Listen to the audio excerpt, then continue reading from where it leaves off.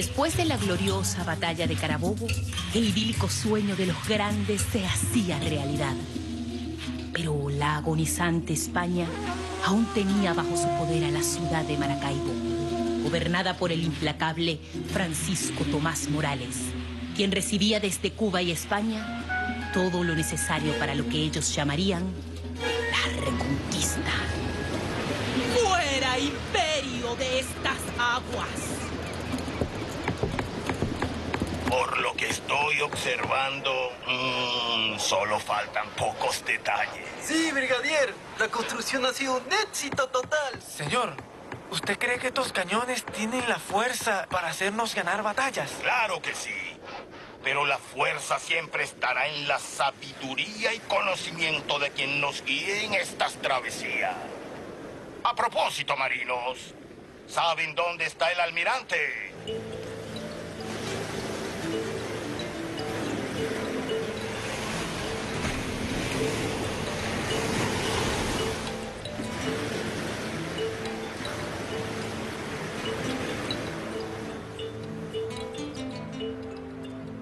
Soy de mar.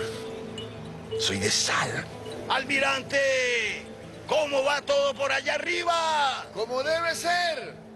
Ustedes más bien echen el cuento. Pues aquí los muchachos ya están terminando. Entonces, ¿será que celebramos? ¿De qué manera, almirante? En tierra firme están los barriles esperando a que los subamos a la nave cuando esté finalizada.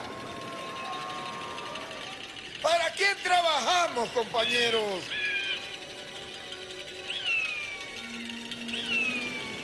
Mi capitán, ¿listo para desembarcar? Todo listo. El gobernador me espera, ¿cierto? Con ansias, mi capitán. Escuche la borde. Esto apenas es el comienzo para obtener la gloria que nos han quitado. La reconquista. Eh, con Bolívar en Quito, su ausencia nos favorece. Un par de cañones a las naves patriotas y terminamos con el capítulo Maracaibo. ¿Y usted cree que la cosa es así tan fácil? Esos hombres son el diablo en persona. Campesinos, tripulantes sin formación.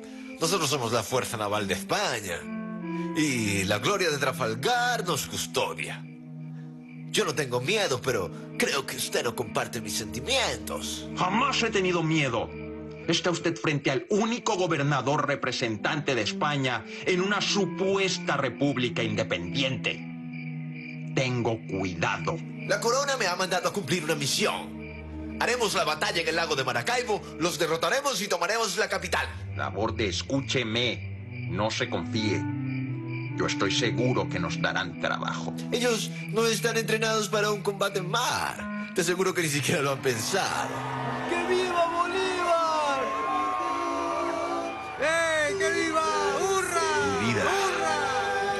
preocupa, mi libertador?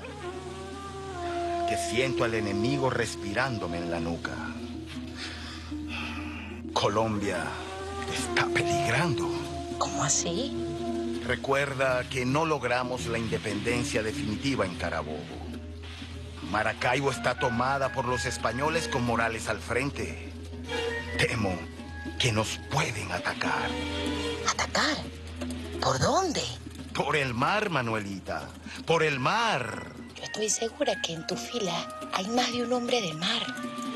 Que la República designe el mejor de ellos.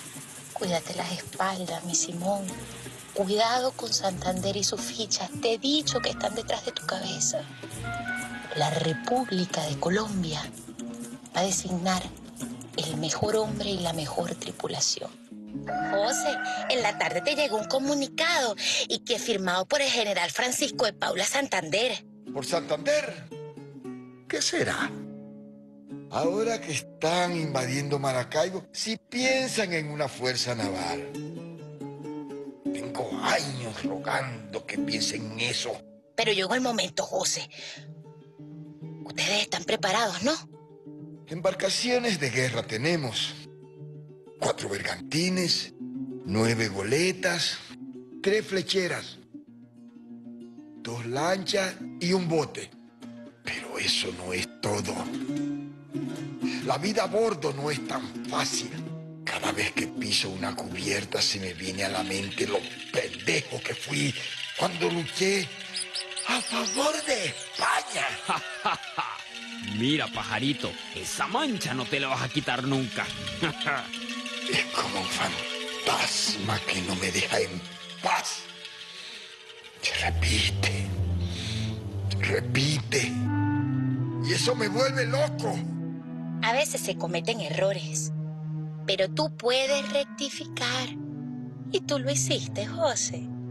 Jamás daría la vida por el enemigo. Fui de filas españolas, pero ahora y por siempre estoy del lado de la libertad.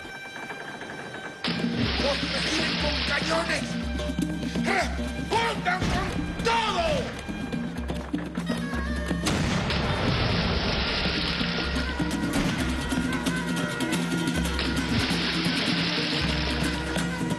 ¿Cómo vamos, brigadier? Perdimos municiones y alimentos importantes para la tripulación. ¿Crees que sobreviviremos con lo que queda de reserva? Tenemos solo para sobrevivir. Aún nos faltan caminos por recorrer.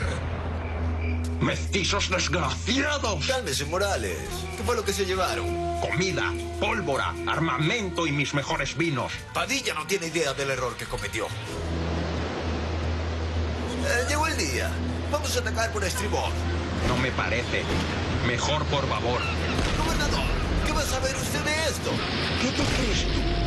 Respeta esto. Eh, respete esto. Indíquenos el rumbo, capitán. Nos están abordando. ¡Cubríos! Llegó la hora de la verdad. Que rodeamos las embarcaciones españolas. Estamos aquí para defender el último territorio que el imperio español ha decidido en mala hora robarnos. Matar o morir, matar o morir. Morir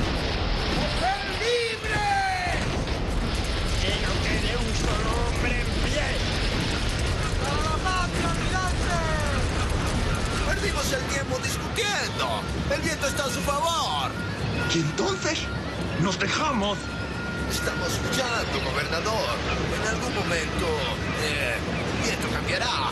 Y mientras tanto, que nos sigan acabando. Fueron muchos los que ofrendaron su vida y los que defendieron los sueños de libertad. Y en la historia de los grandes quedó grabado el 24 de julio de 1823 como el día donde se logró la verdadera independencia definitiva. El último reducto fue exterminado con la capitulación de Morales como gobernador. Y la patria abrió sus brazos a la nueva historia. Y el ser libres es una consigna que palpita fuerte en el corazón.